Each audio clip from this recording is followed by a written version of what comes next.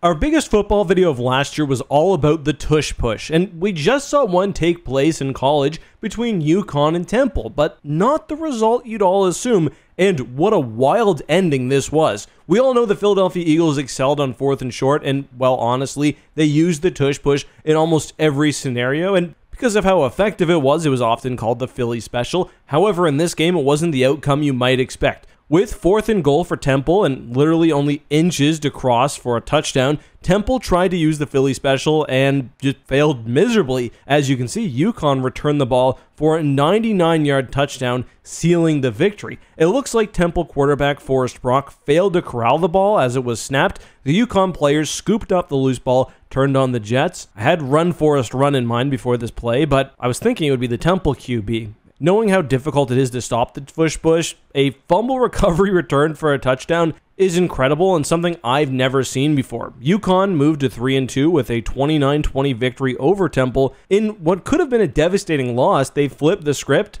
and as a fan, I'm happy to see the tush push fail every now and again. Last year, there were talks about the play being banned as it was almost unstoppable. The NFL did end up making some changes. The pushers need to start at least a yard behind the QBs. But do you think plays like this, whether because of potential injuries or the overpowered nature of them need to be banned or do these college coaches even care about potential risk to injury when you get these giant rugby like scrums? Let us know your thoughts on UConn's dramatic win down below.